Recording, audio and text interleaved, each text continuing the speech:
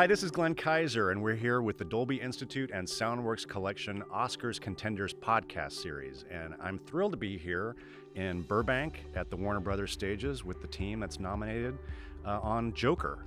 Uh, some old friends here at the table with me Alan Murray, who's nominated for uh, Best Sound Editing on the movie. You're the supervising sound editor on the film. Yes. Morning, morning. Morning, morning. And uh, we're joined by Tom Ozanich and Dean Zupancic, who were the re-recording mixers on the film and nominated for Best Sound Mixing. Congratulations, guys. Thank, Thank you. you. Thanks for having us. And before we start, I should point out that uh, Tod Maitland is also uh, nominated on the film. He was the uh, the production sound mixer. Right. So uh, great, uh, great work all around. So I wanted to kind of you you guys know you guys have worked together quite a bit. I feel like it was just uh, not too long ago that we had a conversation about A Star Is Born on our on our on our podcast series, and then of course you know Alan. I think this is you know you've made multiple appearances over here. I remember I think you were on our, our, our first or second season talking about your nomination for Sicario. Yes. Yeah. Remember- we had it at the hotel. That's right. That's, that's right. Right after the nominees lunch, it was a little it was a little boozy that afternoon. Yeah, we had a yeah. we had a we had a really good time. But this is your so you've this is your your, your ninth nomination, Uh, tenth. your tenth nomination. The internet is wrong, ladies and gentlemen. Your tenth nomination, and you've won previously twice Yes. Uh, for American Sniper and uh, letters from letters from Iwo Iwo Jima. Jima. Yeah. Right. And you guys obviously you were all nominated together for a, a Star Is Born. Correct. Right. Right. So uh, I just want to dive right into the movie because I think there's a there's a lot to unpack with Joker. um, you know, right from the opening logo, you know, uh, director Todd Phillips, you know, starts the movie with the the the classic, you know, 1970s uh, Saul Bass version of the Warner Brothers logo, and then you know you go into that first scene with Arthur Fleck, uh, who is not the Joker yet, but will be the Joker at some point soon in the film. And he's in his, you know, he's in, uh, it's that dressing room scene, and he's getting, you know, getting ready to perform as a as a, a very creepy clown. so, but you guys set a tone. Right, and I'm always interested in the first few minutes of the of, the- of a film and how the director is deciding to where to start the story and and how to get the audience into this because you know you realize very quickly on this is not a typical DC Right. superhero movie. So talk to me about that first few minutes and what's happening and how you guys worked with director Todd Phillips to set the tone of the film. Tom did that quite a bit. We worked on that. We we literally started off the dub, you know, with Todd saying, uh, "We are going to be mixing this scene until the very last day of the dub. This is going to be the hardest scene in the movie," and he was right, um, which is really funny because it's not the most complex, you know, scene in terms of all that's going on, but but it is a really tricky scene uh, because of the setup. And there isn't like a super clear point of focus Right. um, as it kind of leads in. And so really that's all told to you by the sound and and how that kind of leads you through that scene. And so we we had lots of different versions that we went through. There was a point where we had you know uh, a source cue playing a neil young song was playing in the background that kind of went through there. We had a score in there for a little while. We played up you know what if we play the radio down real low? Mhm. what if we play it up more? And we really played with all these different um, levels and placements and everything. And you know what we kind of decided was that we really needed to have this intricate balance where you become aware of different things happening in the scene. Um, and you know i kind of always think of it as it's like a baton that you're Sure. handing off and, and sound really leads you to what to focus on in a scene by the baton kind of continually handing off to Right. the next thing. And so you, you kind of start tracking in there like I say the low old logo comes up and you're zooming in it's very kind of small in the beginning and it opens up into that world. And you hear the clowns the other guys you know talking off to the side and you kind of hear them percolate up and down sometimes so that you're aware of them but they're not the main focus. The radio really kind of becomes that because uh, because people talking. Yeah. and so you automatically focus in on that. But once we get to sort of the camera landing on arthur we needed to figure out a way to sort of allow your focus to shift onto him. And what is he doing? And you know kind of like delve into there a little bit of what's going on in this guy's head you Yeah. know and um so I, I you know there was a lot of intricate foley work that was done there just to hear the brushes that he's doing Sure. and um we actually had no production sound for that that we could use and so we cobbled together some breathing and stuff from Joaquin from other things and and did some other stuff where Todd actually got on a mic and did some sort of mouth sounds Mhm. and little movement things because we really wanted to feel like you know we're really close It's to really him intimate sounding. yeah. and we needed to have the presence of him but we had to kind of manufacture that yeah. um, and I mean, it's it's all the breathing's really Joaquin and all that. It's just Sure. taken from somewhere else. But you were having to construct all that out. Yeah, and we needed to shift the radio in such a way that those it didn't feel like you were you know turning it down a bunch or something because we're actually getting closer to it. Mm-hmm. Um, but I think it works that you really you get close to him and and because he's so imposing on the image visually and then you hear all those little details of him i think you just you focus in on him and even though the radio is still there it, it tucks back a little bit and we the city sounds kind of drift away. yeah all that stuff goes away and you're really focused on him and then the scene ends after his smile and Yeah. it takes you off into the next But prior to getting to him, we we on the stage with Todd, the whole scene is rhythmic sonically, and it was very important how we got rhythms of horns, rhythms of the the card playing, the vo- the the dialogue going, the card playing. Nothing really. Things got on top of each other, but it was all very strategically placed to get the right rhythm with the camera move. And, and we, it took a long time to figure out because you feel you, you felt not at ease in a bad way.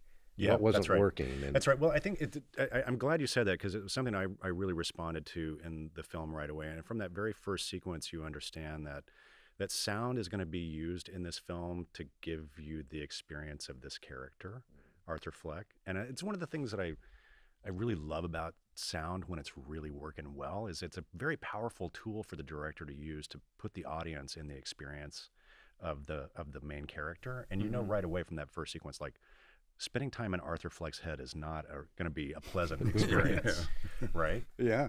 Yeah. And that was one of Todd's directives from the beginning was I want you to feel like you're there with Arthur. So we did tons of work with the Atmos and ambisonic mics and, and tried to make the audience feel that they were always sitting in the middle of this with Arthur. Right. So yeah, yeah. it was a quite a intricate mix and a lot of uh, trial and error too. So, oh yeah, yeah. exactly. Did you get you guys had uh, a, a good amount of time on the mixing stage to experiment and play and figure out what was going to work? Lisa Dennis, our post supervisor, really was instrumental in getting us the time we needed, that she felt we needed, and that Todd would have been comfortable with.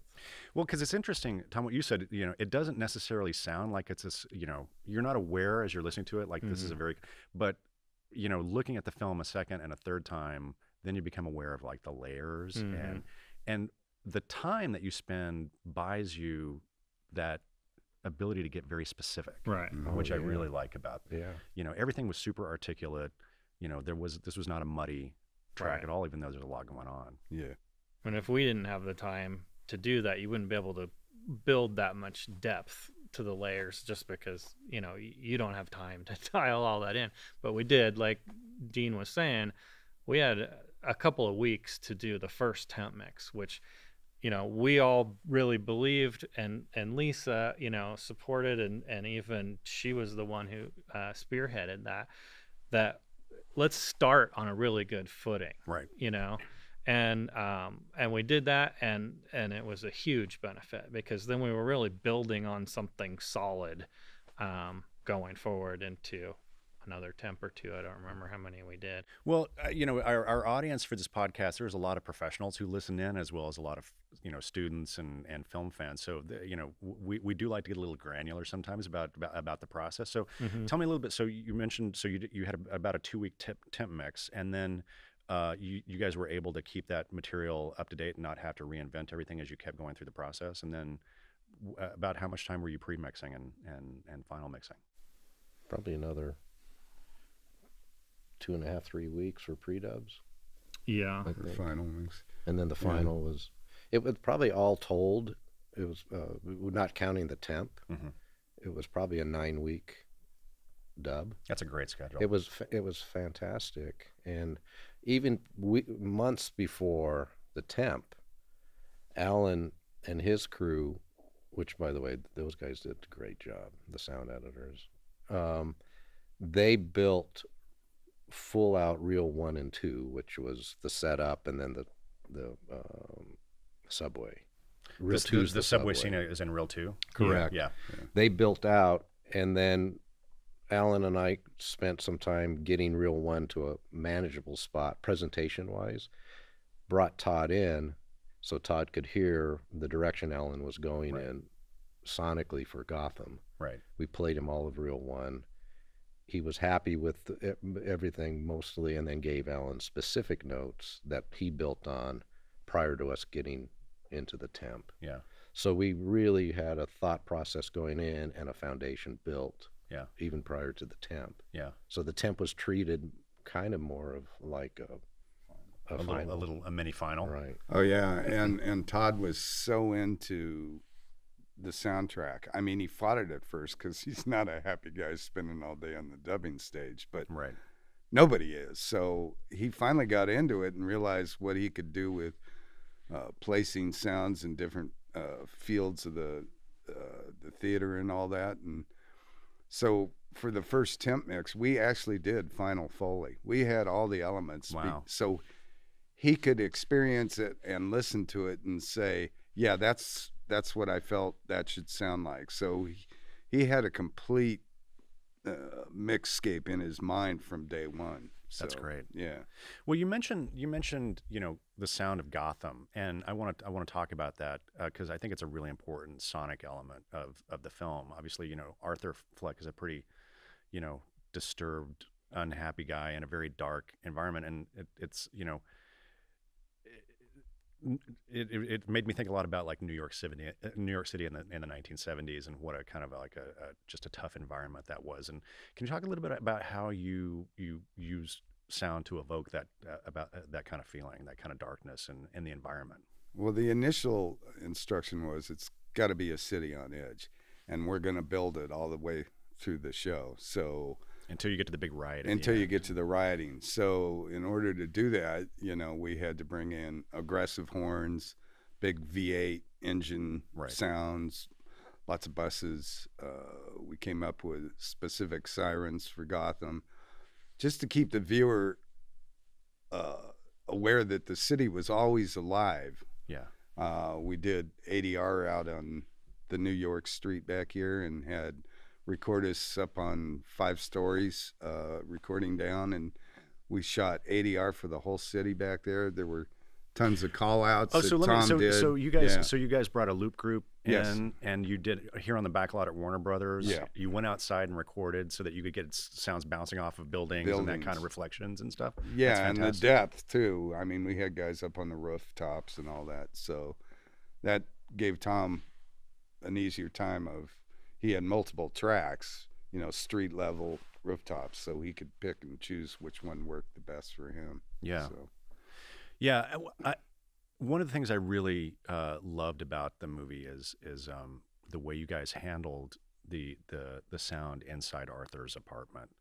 Um, because you know, normally we kind of think like home is the sanctuary, the safe place that you go to, and you can kind of relax and let let go of the world. But sonically, you guys didn't let Arthur do that. Mm-mm. And his, tell me a little bit about his apartment and how you how you made that sound. I was actually just describing it as I think he's his apartment is kind of like his cocoon, Right. but those walls are thin and there's a, a big nasty world outside that's just kind of, you know, banging on his doors. and you're always kept aware of that by all the stuff Alan was just talking about. Being there, you're still hearing all this stuff, people yelling outside his windows, you know, constantly through the walls, arguments happening. It's all pretty negative stuff for the most Edgy part. vibe, yeah. Yeah, it just contributes to that sense of like unease, right? Yeah. Yeah. Yeah.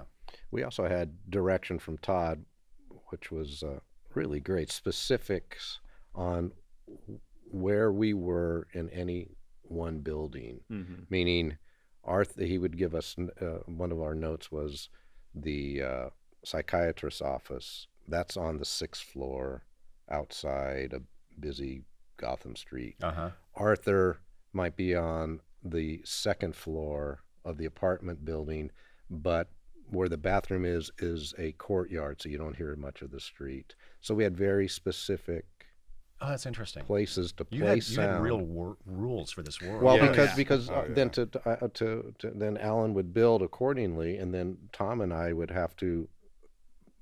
You you just didn't put a delay or a reverb on all exterior sounds. You had an idea where they lived, so you'd varied reverb delay times sure. and and if they're interior exterior whatever depending on what we visioned sixth floor would be second floor tenth floor Mhm. so todd knew how important it was sonically gave us those notes which were tremendous because if we didn't know you Sure. just kind of wing it if Yeah. you will so we made this plan okay if we're on second floor this is how this would sound because we're closer to the street uh, the walls are thin Mhm. and it was uh, it was great direction that gave us the freedom to play it Yeah. Yeah.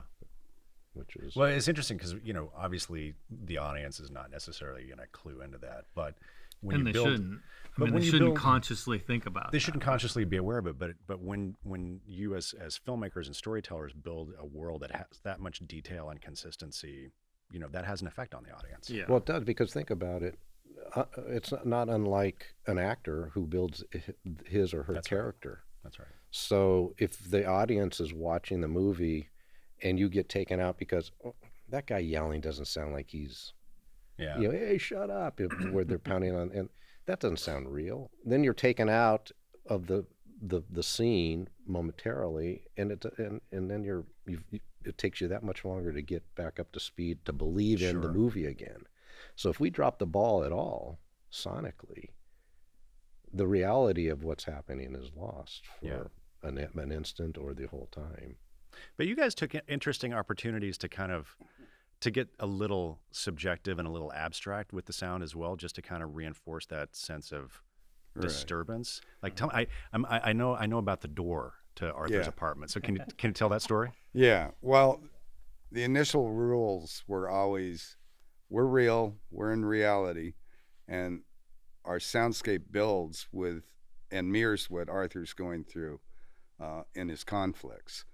So as things get tougher for Arthur in specific scenes, we ratchet up the abrasive sounds. Uh, an instance for the subway, you know, it started off a normal subway train ride Right.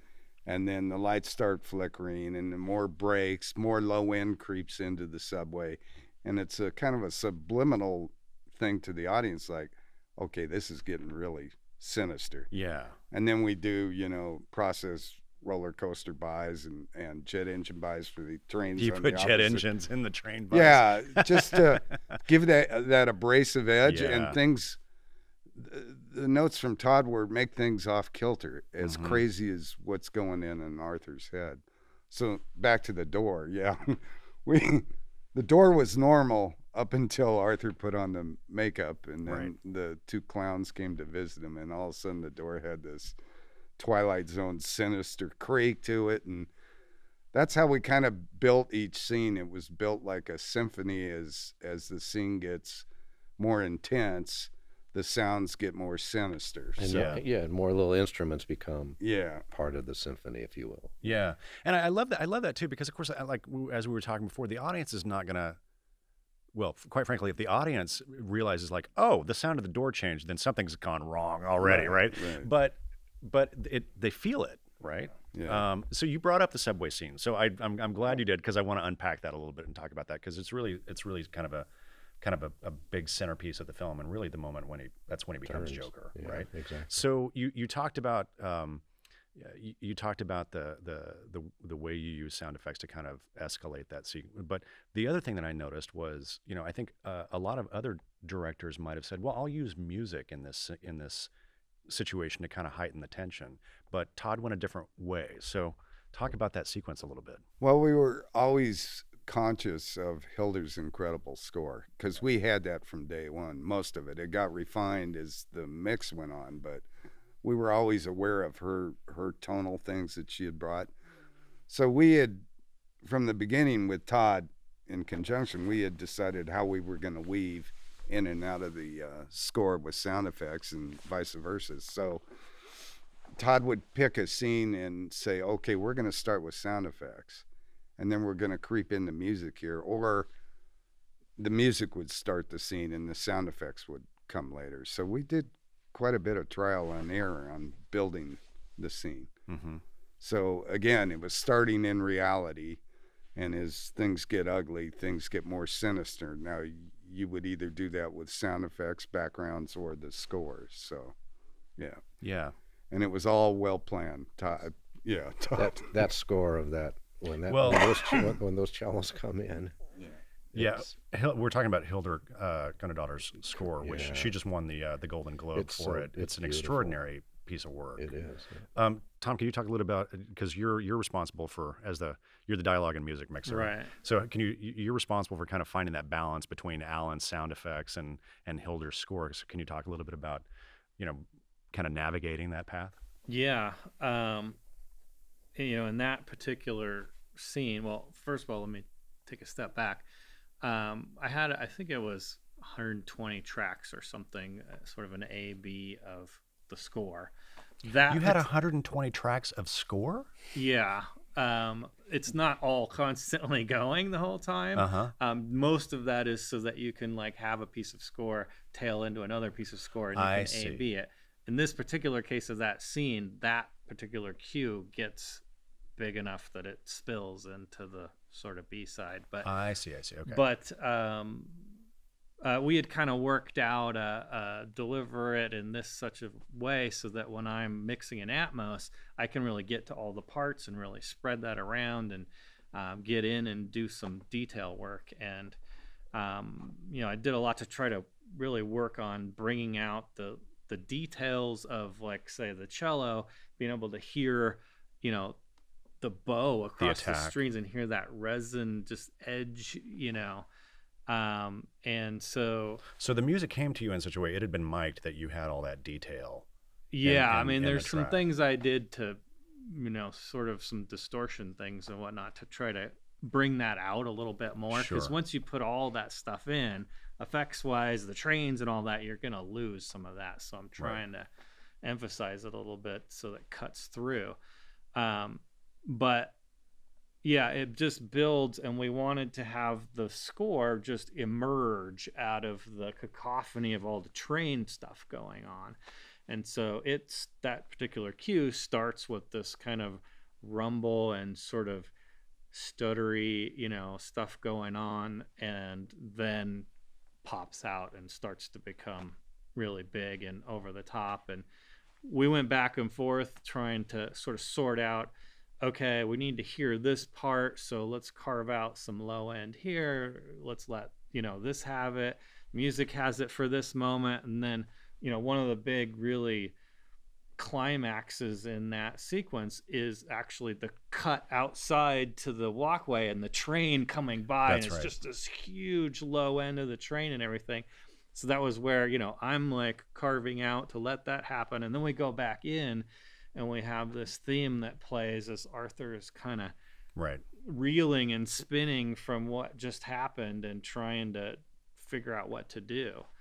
Um, and so you know it was it was a lot of fun to have all the parts and be able to play with panning those parts around and um, you know a little bit of movement in that stuff really allows it to cut through better even when there's a lot going Right. on and so um, and then you know the train stops and it all kind of settles down and then we get really intimate with you know the terror of the That's right. leading up to you know shooting the guy on the steps um and of course then you know go off to running down the street and in the bathroom which then becomes very much in his head Right.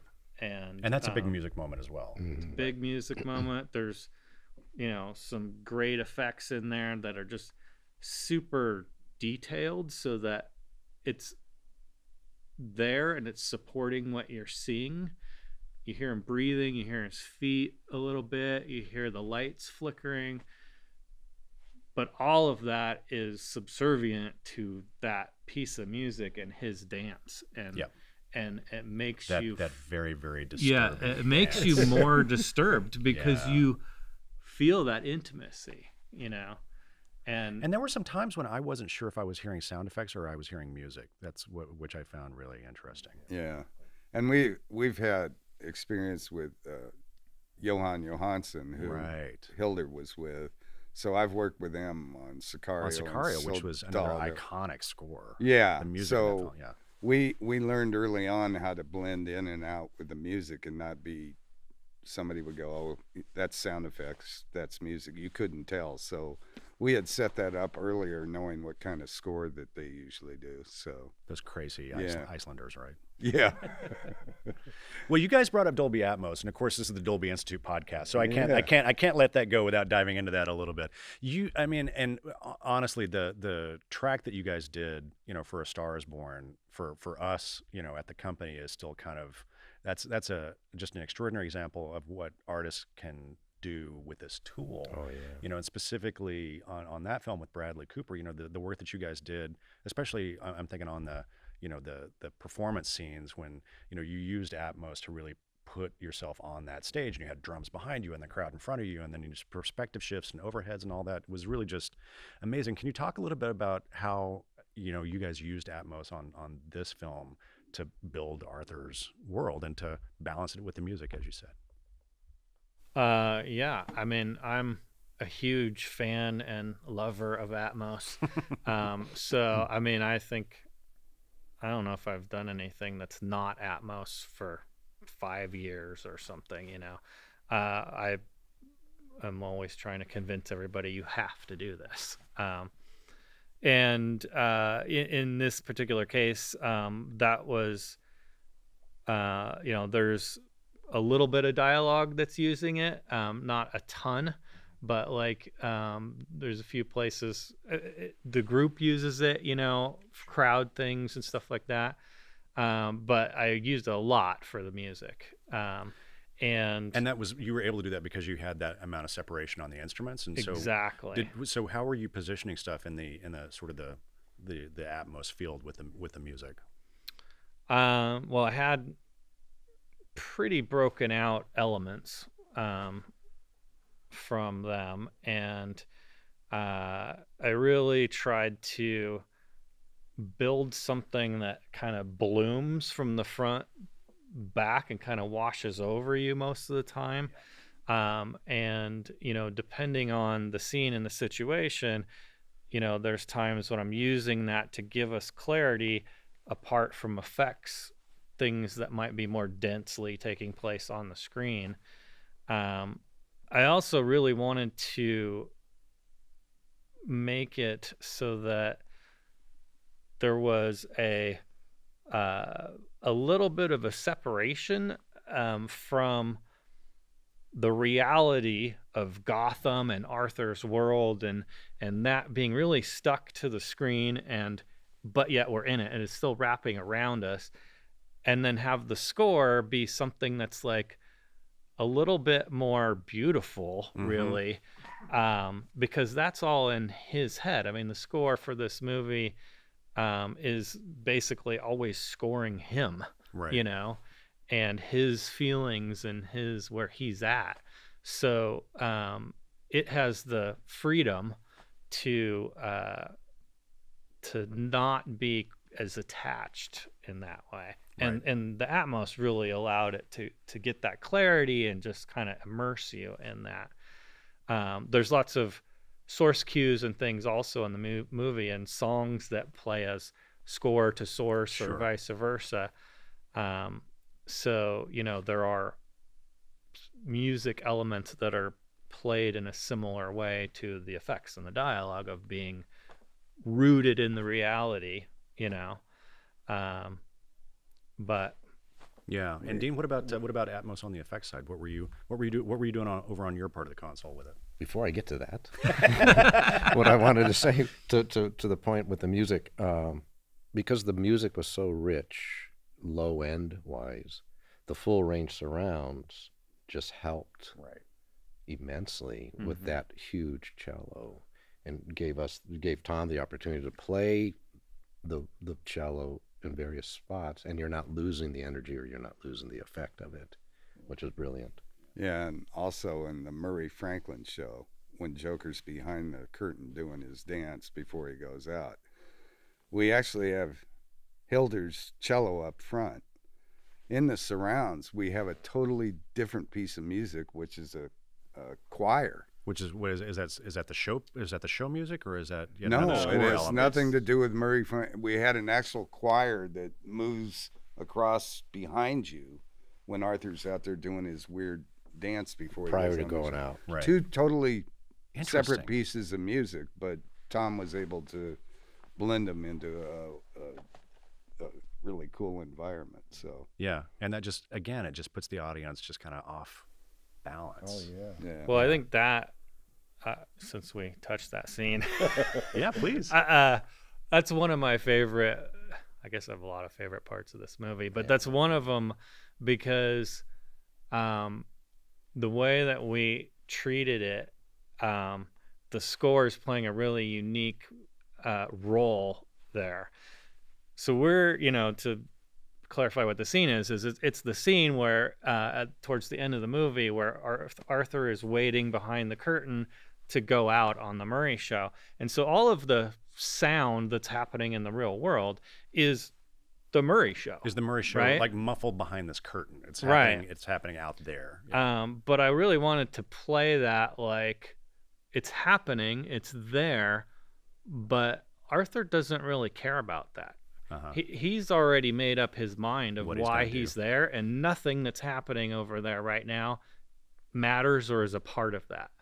So even though it's happening, the balance of how that score plays against, uh, you know, Robert De Niro out there talking and and the audience reacting and all that is played in such a way that you understand that it's not that important. And there's this score that is playing Arthur and his head, and you kind of buy that, and you're kind of with him, even though this big thing is way more activities happening right there, and we do cut into that space even Yeah. a couple times.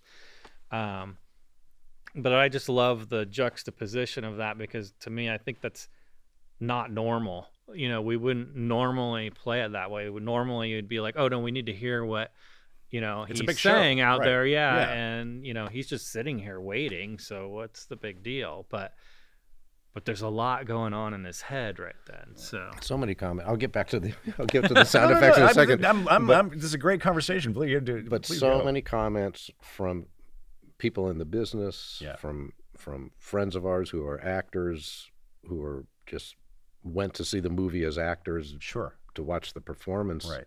come out. Holy moly! Yeah. the sound was so much a part of the character. So, but um, part of the fun that we had with this movie, you really don't know what is reality and what is Arthur's head. So to this point, we're in Arthur's head here, but we're not. It's not being so obvious. Mhm. You know, you're not saying it, but we are with the with with the mix. But again, the audience knows something's just off. Exactly. Then you buy into it, and you're and you're for from the beginning of that logo all the way through. You're in it, Yeah. and and I, I love the opening of this movie because it sets us up like we're gonna watch, uh, you know, a '70s kind of movie, Yeah. Serp- an iconic Dog Day movie. Afternoon, Serpico, Right. something like one of those And one it- of those really tough seventies. exactly dirty, and you, just know. go for it and you're in it so so the sound effects we did the obvious airs and and but in Atmos and backgrounds and room tones and stuff like that. Where the room tones shift from being all over outside to being very intimate inside interior sounds but also as arthur starts to go into his psychosis things kind of change hmm atmospherically Right. too and um but also atmos just afforded us to place those horns and those calls in various spots and uh two one uh, two of my favorites sonic is the quietness outside um uh, Arthur goes to uh, Bruce Wayne, the the Wayne Manor, and it's so quiet. It's so It's different. the only calm exactly acoustically when he goes to Wayne Manor. It's the only calm moment in the film. right? and it's just so serene. And Yeah. so we got to play a little bit. We had a big discussion about crickets, so we got to play some crickets because we weren't sure if it's it's dusk, but is it winter? And so Right. we had a bit that that we went down that kind of discussion road. And but you just hear some air, and the air is behind us, and just nice little subtleties. Uh, the Murray Franklin show, the audience that gave us a point Sure. to play the audience, especially when that camera does the whip around, and we Atmos just you just feel it. And Todd, You're in the space. the with first time he saw it was like, "Oh, that's so cool!" That was that he's did did the audience go around with the camera? Yeah, it was. And he- Yeah. So he, he he loved that, and and um, uh, yeah, also once he dialed into that, he really started to get into that and started going, "Well, can't we do this?" mhm. Had he worked in Atmos before? he, I don't, think so. No, Yeah. I mixed War Dogs with him, and I don't think that. And this is also just a very different kind of movie for Yeah. for Todd Phillips as well. Right? Yeah, But we also had Tod Maitland, the production mixer, who lives in New York. Right. Uh, we had decided since we're going to be in the middle of everything that we needed a full surrounds 360 encom- accompanying soundtrack for this movie. So we got an ambisonic mic and sent it back to Tod, who then went out and shot late night on the subways and, and shot in the tenements and in the streets. So And the ambisonic mic captures a, a 360 sound yeah, environment. Right. which totally helped us with Atmos. We didn't have to uh, dream up different things to do that. It was all there for us. You had a framework at- there at- already. yeah, in the framework. So Yeah. Another Atmos moment that we don't really talk about, which is a cool moment, is when we go into the when we're we're downstairs prior to the comedy club, prior to him going upstairs up those stairs. Doing his stand up. right. Uh huh.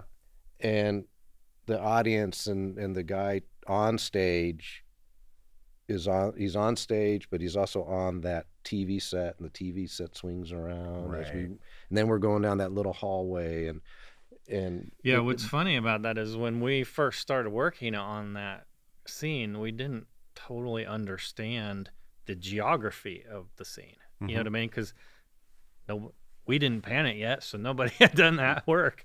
And you're looking at it, and it's like, wait a minute, is he going that direction or is he going this direction? And it was a little bit confusing. And once we figured out the geometry or geography of it, I mean, mm-hmm.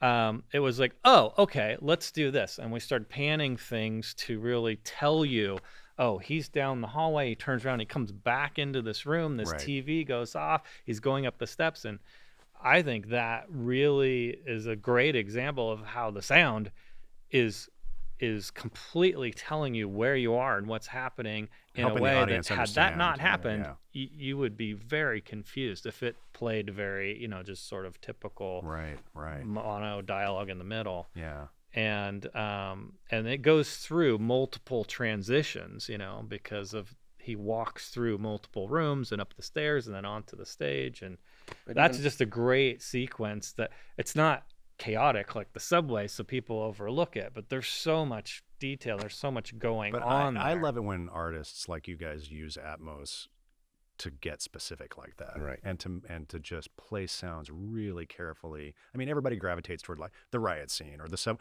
you know, th- these big Right. moments of a lot of chaos and stuff going on. But I love that just those super articulate moments. Yeah, right and it gives us the freedom to do that but to feel the breath of everything and that scene there, there's really good dialogue work Yeah. in that scene because when arthur's standing at the curtain waiting for the guy to introduce him.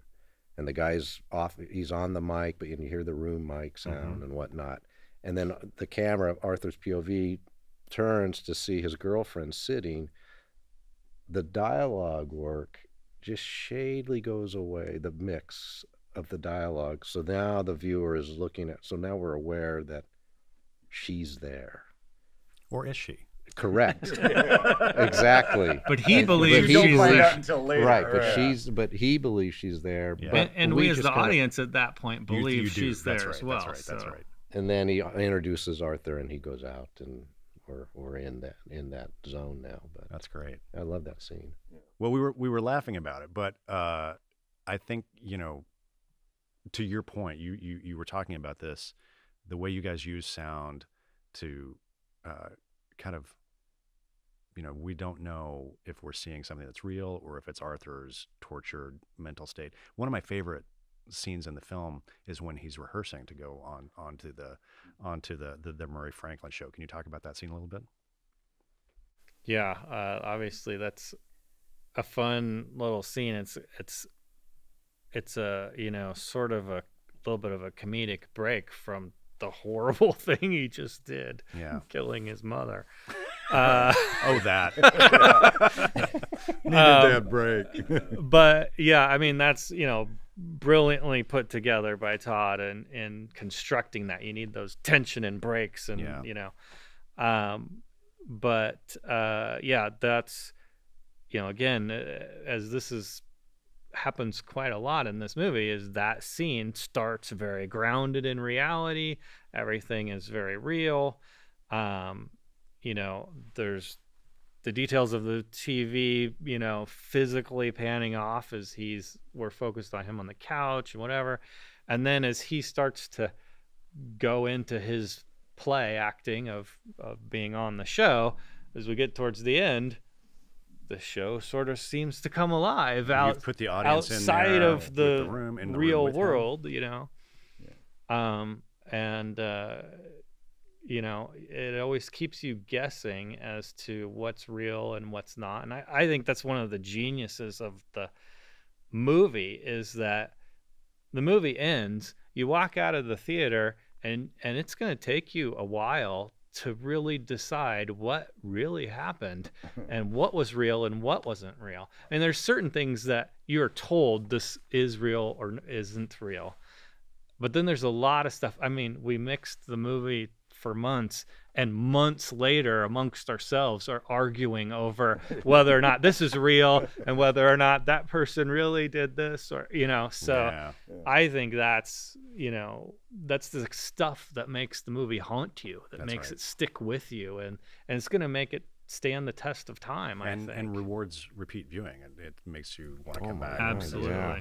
absolutely And we have little Easter eggs. I don't know. Do you see the uh, the super rats? And there's two scenes that super rats travel What, by. what's, what is a The no. super rat, you know, because they the big rat, the big, the big yeah. rat. That's a, that's a running that's a running thing in the film is these rats that are taking over Gotham right. City, right? So yeah, we even have, there's a few places where you places see them where- scurrying around but they're not obvious, which is great. Yeah. And so if you see it, you see it. If you don't, you don't. you know, obviously, you you three are up for the Academy Award, but you weren't the only three who contributed to the soundtrack on this film. I'm sure, you know, mixed Absolutely. techs, Yeah. sound editors, Yeah. foley people. You guys had an had an army behind you, right? Yeah, and and the, one of the nicest compliments we got was when Arthur was in the girlfriend's apartment and she hadn't gotten there yet, and the rain's falling. It's an eerie scene. He runs his hand over the child's uh, uh, Art, artwork. artwork, Painting. her her painting, and the texture that One Step Up, Dan O'Connell and John Cucci came up with as his hand moved across this child's painting was so eerie and so macabre. And then we had people in the audience bring that bring that up. It was like, yeah, it gave them shivers just hearing that. So. Yeah, it, it, we had an incredible team, and everybody brought their A game. I mean, the cinematography on this movie is Well, incredible. the cinematography is is stunning. Yeah. yeah. uh, At, at every at each one of the departments was really just doing superb work. On this. Yeah. production design. and Joaquin, we're all sitting there every day, mesmerized by his performance. It was like, oh my god, incredible. So, And we had a great. You you brought up the mix tech. I got a compliment. Unsun was a Yeah. she was Unsun Song. She was our mix tech. She did a great job just managing the the the particulars of the stage. And one funny story though, we're mixing the scene where the audience starts to figure out We can't she, trust she it. wasn't real. She wasn't right? real. Yeah, because yeah, yeah. and Unsun We have an untrustworthy narrator here. yeah. Unsun is standing there, and, she, and we're we're mixing this in. And she goes, "Oh," just like, "Oh," and it just caught, and that was the best because we knew the audience was going to have that same reaction Yeah. when they found out that she wasn't really in the hospital room. She wasn't standing behind him. Um, it was fun, and then uh, John Thomas, our effects editor slash stage editor, sta- uh, outstanding work, and Kira. Kira uh, for Yeah, big and- shout out to Kira Roessler was the dialogue supervisor and did all the dialogue work and ADR work and she's awesome. She was with us on Stars Star. Born also. Yeah. Al- Also was Jason Ruder on the music side, music, you know, supervisor music editor and on both shows and he's the best, you know. I mean, it's just we wouldn't be able to, you know, claim the victories we've had without him. So That's great. Well, thank you guys so much for making the time Thank to, to to do the show and talk with us about about this film. It's pretty, you know, I can't say it's a, a feel good, uh, you know, a, a- a feel good, uplifting about life film, but it's it's um, it's it's a very, I think, uh, uh, inter- interesting statement on our times as Yes. well. Yeah, exactly. Uh, and a sticks really, really, with you. yeah, and a really powerful film and just extraordinary work uh, from all of you guys, Thank you. Alan, Tom, Dean. Thank you. Congratulations on your nominations. Thank, Thank you very you. much. And, uh, and, and, and thanks for talking with us about it. Hello, and welcome to the second part of our conversation on Joker. Uh, we talked earlier with uh, the post production sound team, but I'm happy to be here today talking with Tod Maitland, who is the production sound mixer on the show. Welcome to the show, Tod.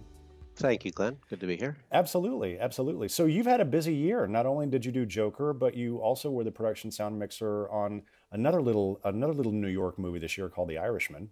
Yes, it was another little movie that was actually done two years ago because they did Ah. a year and a half of post on it. So it seems like it was just yesterday, but it was really like two years ago. But yeah, Understood. but another great and another really good one for production sound mixer too, because tons of dialogue, you know, and period cars and all the kind of stuff that I like to deal with. I'm sure, and uh, you know, it's of course no no no small thing that both of your movies are up for for Best Picture, which is fantastic. Yep, So uh, we heard from uh, Alan Murray and Dean and Tom about some of the challenges that they faced in in in uh, building out the sound effects of Joker and and mixing the film. But I'd I'd, I'd love to hear your take on. Uh, you know, what was your first reaction when you read the script and sort of understood the uh, what what uh, director Todd Phillips was trying to do and, and trying to build this very dirty, gritty, uh, you know, kind of 1970s New York style environment in Gotham City.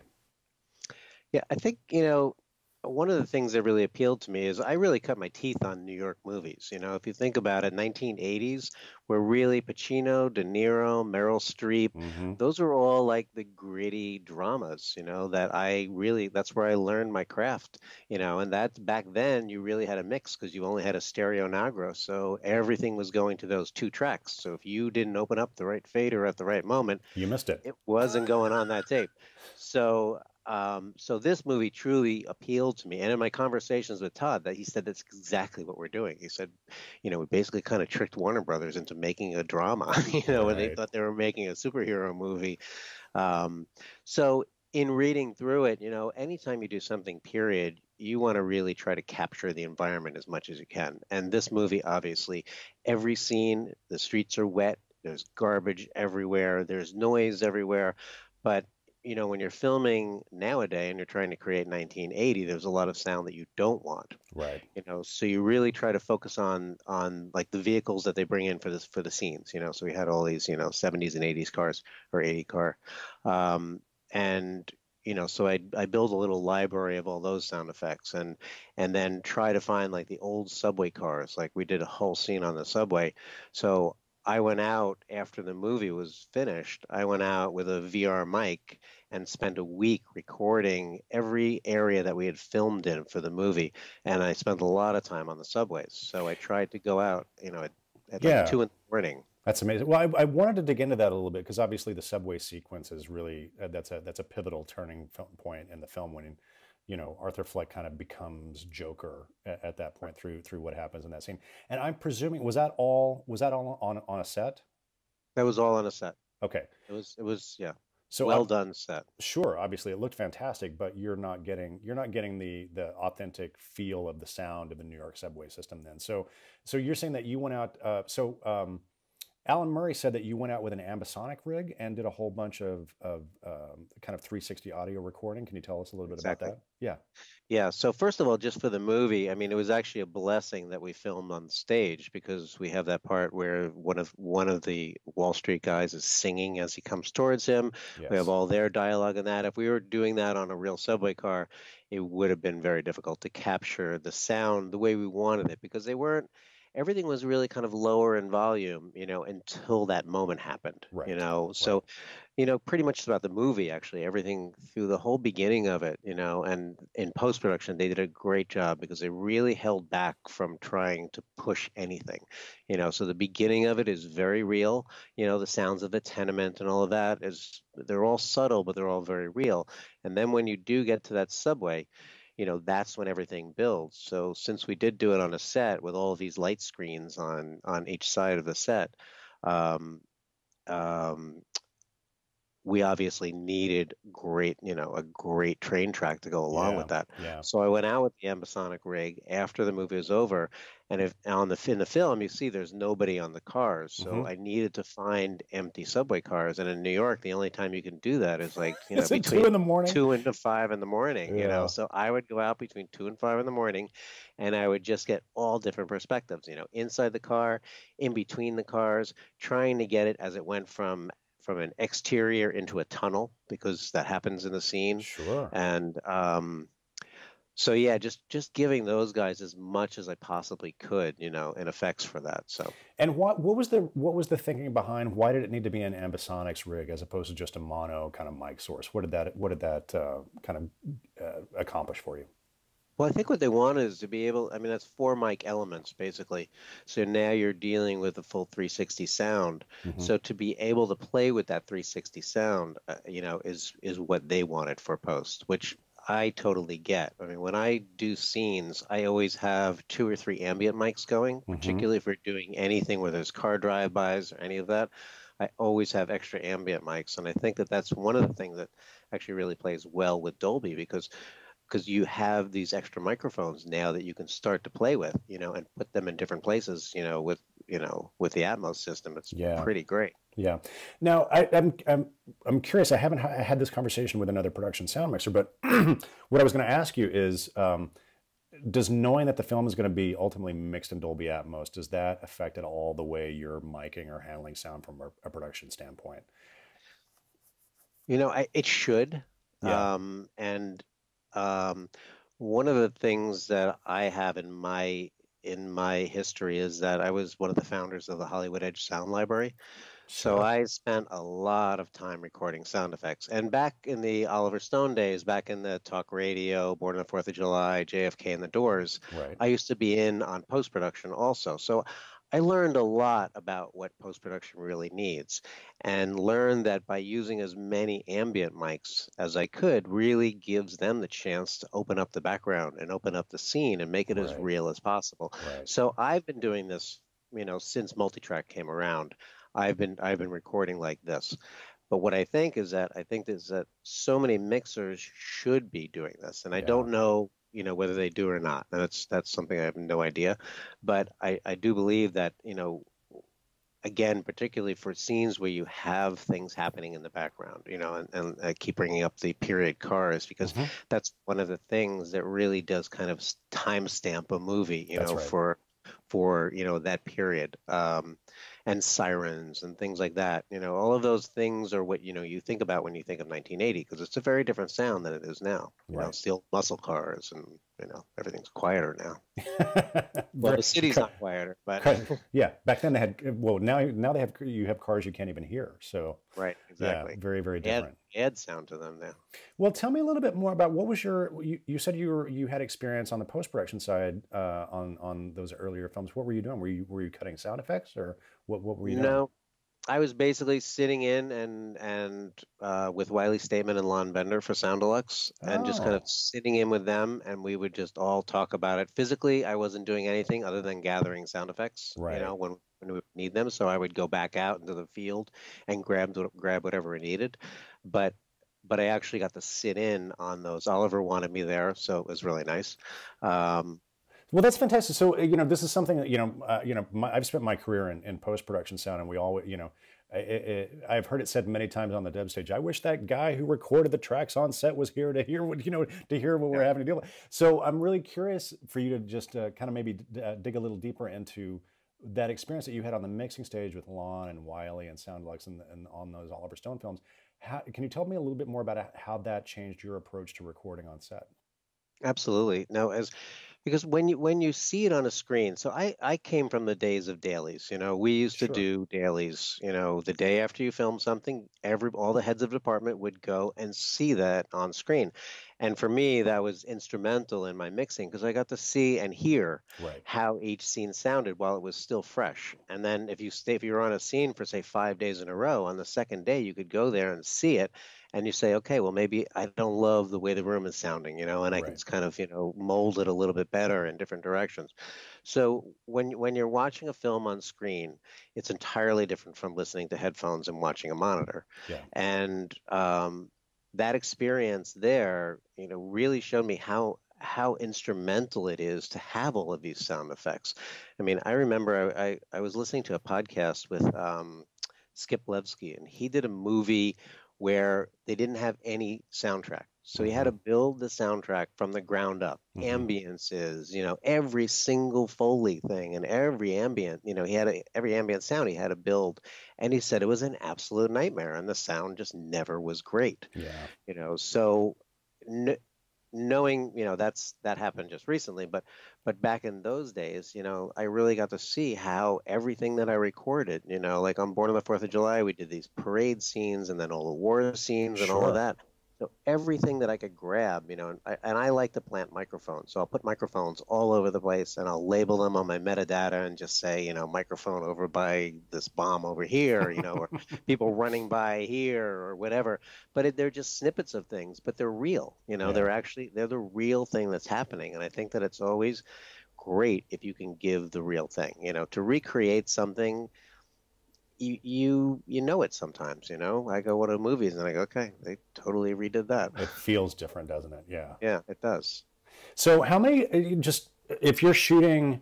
I'm thinking about you know some of the, uh, th- those sequences uh, outside with Arthur early on in the film when he's doing a sign thing. Just give me kind of a typical. What's a typical day for you when that's the kind of setup? How many microphones are you using? Kind of what's the setup? Walk us Right. through something like that. but i would always i would always wire joaquin because he would breathe or he would make little lip smacks or and he was very soft spoken in the beginning you know. Mhm. arthur fleck you know was was you know kind of a demure kind of you know slightly disturbed. So he was in his own world. So he made these little sounds you know. So i would always have a microphone on him. Then i Mhm. would always boom him also um, which is just my general practice anyway because i just like the sound of booms better than i do wires. I always hope that the boom is going to sound better than the wire but in this instance since his sounds were so subtle the wireless really was was great with him. Mhm. and then whenever he's walking in the street, like up those stairs, I would have a microphone, you know, in the middle of the stairs. I'd have one at the bottom of the stairs and one at the top of the stairs, and then him wired so you could hear him breathing as he's, you know, Sure. lugging up those stairs each time. Yeah. So I'd always would have about three ambient, ambient mics. That's my average average um, scene. And the other reason I do that, the reason I started that, besides learning from the Oliver Stone days, was that if you have an ambient mic going and a plane goes overhead, Mhm. um, and the director loved that scene, you know, and now they have to recreate that plane. That exact plane to try to now carry over for the next piece of coverage. So if they love the shot of one I person, see. Right. you have right. a plane right. going over. Now, when you go back to the other person, there's no plane There's no going over. So plane, now they have to bring in a, a different plane and try to make it sound like to it. So match it. Yeah. so if I have this ambient mic going and and just grabbing everything that's going around, all they have to do is now add in that ambient track onto the other person's dialogue, and it completes the scene. Right. Right. The plane that we thought ruined the take, actually, you Is were now you were you were able to save it. Right on JFK, actually, we filmed this giant scene with um, Donald Suther- Sutherland Mhm. as they're walking around talking. You know, he, he and um, um, Kevin Costner, right? Kevin Costner, right? As Yeah. they're walking around talking, it was an eight-minute scene, and we were right in right in Washington. At that point, planes flew right overhead, so Mm. we had two planes that would fly over every single scene.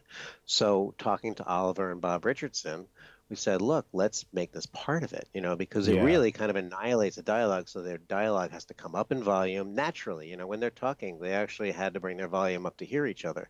So Bob Richardson would go up to the camera, up to the plane, take a shot of the plane, And then come back come down, to it. Yeah. Right, and Donald Sutherland will look up to it, you know, and just so now you know that it's there. Yeah. That's one of the things that I always say. Like in New York, New York has sound everywhere, It sure and if you does. if the sound is justified, if you see it. So, for instance, if you're shooting next to a construction site, so if the camera is facing the construction site and you see it, then it's totally fine to have all of that noise. But if the camera is the other direction and nobody knows there's a construction site right across the street, now you have a real problem with it. So it's the justification of sound, you know, and dealing in New York, you do that a lot. You know, there's a lot of sound everywhere. Absolutely, absolutely. Well, that's a that's uh, that's that's conceptually brilliant. You know, showing the plane and then you've got the justification for the sound being there. That's really fascinating. Right. Yeah. Yeah. So that that actually that was probably where I learned, you know, to always keep something open, you know, to give them that extra sound, whatever happens, because it happens all the time. It can be a truck, it can be a plane, it can be, you know, it can be kids yelling, you know, it can be anything, you know. But it, it, at Yeah. least now post production has that exact same sound that they can use for, you know, the other side of the conversation. Yeah. So when when we were talking earlier at the beginning, you you you uh, you were made mention of you know the role of the production sound mixer was in some ways harder because you had to wedge everything down into a two track Nagra recording. So obviously that you know that particular limitation has gone, but you know you don't want to just hand off to picture editorial 25 you know 20 25 plus tracks of of, Right. of, of wide open stuff. So so you're still mixing, but what do you what do you typically hand over to picture editorial now, and how do you how do you approach that? So I always, I still mix the way that I always have. I still mix for dailies. My father was a sound mixer, Mhm. um, and he always said, "You live and die by dailies," and you really do. I mean, because in dailies, you know, what you heard was really what was there. You know, it, you, it, there was nothing else. You know, Well, you nothing do else to go to. as the sound mixer, you do live and die by dailies because if they don't like what they're hearing, you're getting fired, right? Exactly. Yeah, and it's like the next day. So you Yeah. really, uh, you- when you go to dailies, you know, if you knew you had a problem scene, you know, you you'd be nervous going to dailies, and then you'd have to have a conversation and figure it all out and all of that. So, Yeah. um, so um, So are you still mixing down to a, a mono track to hand over to picture editorial? I do. I do. Track number one is a mono track, and then my booms are ISO tracks after that. So I usually have two booms going all the time, and then um, ambient tracks, and then wireless tracks. So now you know it's we can do up to 48 tracks. Right. I mean, the system the system that I have now, I have you know 24 wirelesses, and and I can do things all over the place now. So, but giving that flexibility, you know, because they'll go back in, you know, pull out whatever they want from the ISOs Sure. but it is that mixed track that is what the director hears the next day you know when he's looking at it with the editors you know since they don't do dailies anymore Right. although every once in a while like i just did west side story and spielberg would do dailies once a week for heads of department which was reviewing great reviewing all the material, or was that just selects at that point? selects Sure. selects it was like two hours of selects on a saturday That's amazing. know. Yeah, That, must have been a lot it of was worth it that must of, it must have been a lot of fun to be in that room. yeah it was great to be in that room you know because you get to see everything develop and it's you get to see the whole week you know i mean i used to love it every day because again it would afford me that opportunity to make any changes that I that I needed. Yeah. But even still, just doing it for that one week, and since the system that I used on that film was a new system for me, it, it gave me that opportunity to hear it on a screen, yeah, as opposed to my headphones. Yeah, absolutely. Well, while we've got you, um, what uh, I'm curious just to ask you sort of similar questions about The Irishman. What were some of the what were the biggest challenges for you working on on The Irishman? There's a particular scene that I want to ask you about, but uh, I'm curious to hear what you say. Um, you know, the biggest challenge on that was just it's just dialogue everywhere. It's, um, it's a very dialogue intensive film. Of dialogue. Yeah. The, the the the part that that was that made it um, that allowed me to get really great quality sound is that Marty likes to shoot with one camera predominantly. Uh-huh. So I'd say probably 70% of the time we would use one camera.